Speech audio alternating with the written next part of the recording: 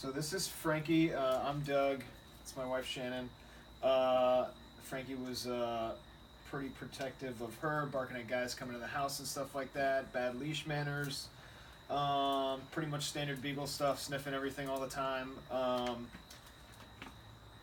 he's still the same dog, but he now can heel. He'll sit on command, come, stay. Uh, I can ask him to sit in place, uh, and he'll do that for us now, uh, really simply.